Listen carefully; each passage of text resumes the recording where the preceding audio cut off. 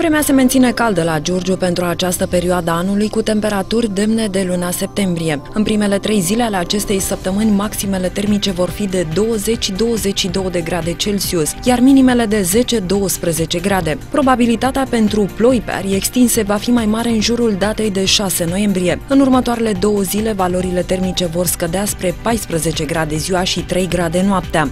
După 11 noiembrie, vremea va intra într-un proces de răcire ușoară și treptată ce va determina spre 16 și 17 noiembrie valori medii diurne de 90 grade și minime nocturne de 2-3 grade Celsius. Marți la Giurgiu temperaturile maxime vor fi de 22 de grade și minimele de 13 grade Celsius, iar vântul va sufla liniștit.